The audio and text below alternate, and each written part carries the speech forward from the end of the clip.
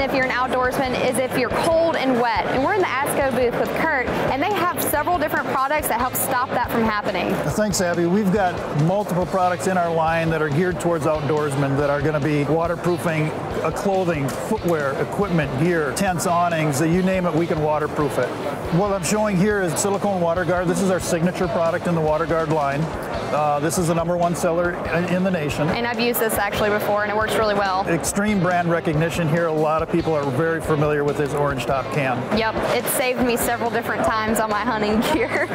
the beauty of it is, is you can use it on so many different things. The reviews that we get on this product from day to day, uh, very, very positive.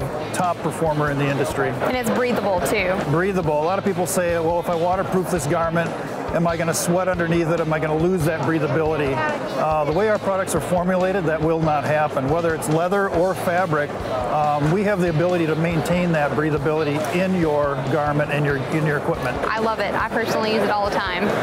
And this is your Snow Seal product. And what is this demonstrating right here? People are super intrigued by what's happening here. The biggest question we get uh, as we talked about earlier, was will your products plug my leather boot? And we want to make sure that we assure people that that investment they've made in their footwear is not going to be compromised by using Snow Seal.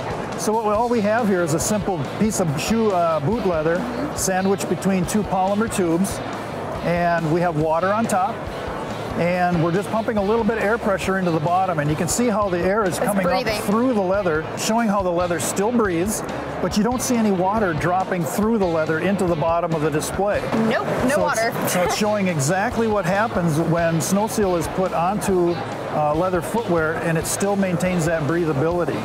These are products that any outdoorsman would love. Let us know what you think in the comments and if you already use them. And then head over to Rated Red's YouTube channel and hit subscribe. From Vegas, I'm Abby Casey.